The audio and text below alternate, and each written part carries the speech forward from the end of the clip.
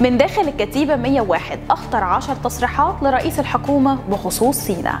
النهارده الدكتور مصطفى مدبولي رئيس الوزراء قال تصريحات مهمة جدا من داخل الكتيبة 101 كلها تصريحات مهمة وخطيرة. تعالوا بقى نقول لكم على أخطر 10 تصريحات.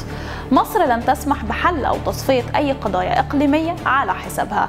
مستعدون لبذل ملايين الأرواح من أجل سيناء. عملنا على تنمية سيناء بتوازي مع الحرب على الإرهاب.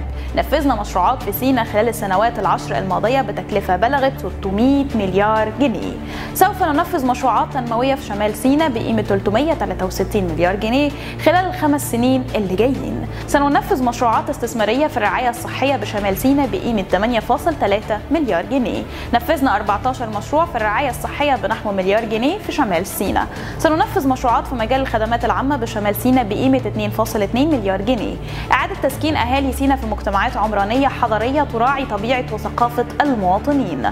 نفذنا مشروعات في المرافق والبنية التحتية بتكلفة 8.7 مليار جنيه في شمال سيناء.